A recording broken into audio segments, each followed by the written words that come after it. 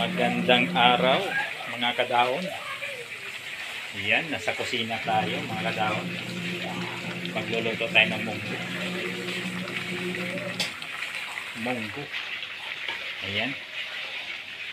Ah, natin siya ng alugbati mga kadahon. Ayan, maraming gulay, alugbati.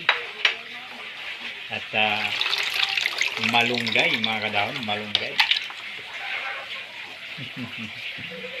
Yan. Mas masarap ang munggo pag maraming gulay. Yan, nagpakulo tayo ng munggo. Nalagyan natin ng konting baboy. Ayan. Sarap to mga kadahon. Basta may gulay yung ating niluluto. Ayan, kulong-kulo na yung munggo natin mga kadahon. Ayan, hindi tayo mahilig mag-isa. Nilagay na natin yung kanyang halo. Mayroon tayong ah, bawang dyan, mayroon tayong sibuyas. Ayan, mayroon tayong baboy. Ayan. Wow. hindi na natin gin- ginisa mga kadahon. Ayan. Okay. Ayan.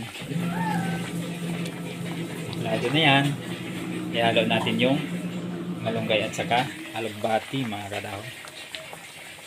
Okay. Ayan, tikman na natin. Wow. Ayos. Ayan.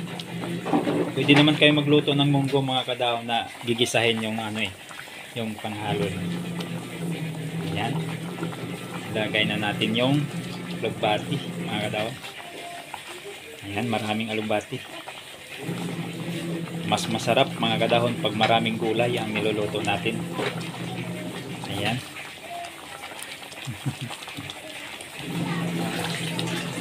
sabay na natin yung mga sabay na natin mga kadahon yung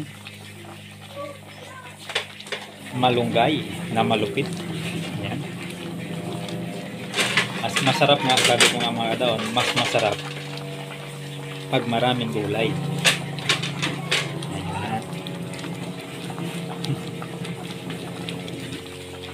Okay.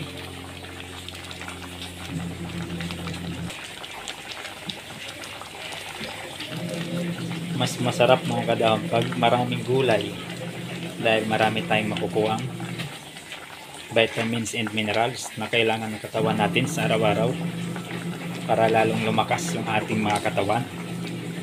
Na, lagi nating tandaan pag malakas yung ating katawan, hindi tayo basta-basta magkasakit mga kadahon.